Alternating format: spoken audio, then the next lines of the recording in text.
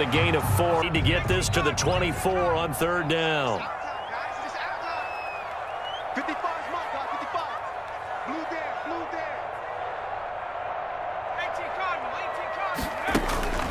He'll side the 20.